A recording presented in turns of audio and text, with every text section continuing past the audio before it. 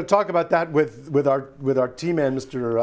Alami about the hospitality but سنتكلم عن هذا بالتفصيل مع مضيفنا محمد العالمي لكن أريد أن أسألك هنا يا شيف أنت أعددت الطعام للملوك والرؤساء والقيادات وقدمت عرضا رائعا للطبق المغربي هنا في أمريكا ماذا كان رد فعل الأمريكيين؟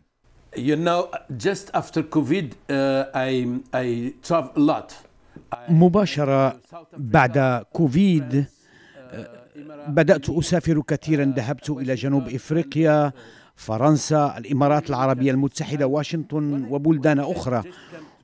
وحين عدت إلى واشنطن سمعت نفس العبارات المعتادة يقولون رائع جيد لذيذ. إنهم يعشقون المطبخ المغربي. لذلك فأنا أدعو كل الأمريكيين لزيارة المغرب لتذوق المطبخ المغربي الأصيل وسماع الموسيقى. إلى شبعت الكرش كتقول غني. You know you have to to trace this word. If the if you eat well you tend to your mind. عليك أن تترجم هذه العبارة.